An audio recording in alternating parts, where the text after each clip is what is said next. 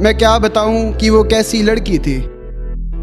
उससे मिला तो बादल गरजे बिजली कड़की थी मैं क्या बताऊँ कि वो कैसी लड़की थी? उससे मिला तो बादल गरजे बिजली कड़की थी और यकीनन उसने सूखे दरख्तों को छुआ था। शायद इसी वजह से जंगल में आग भड़की थी।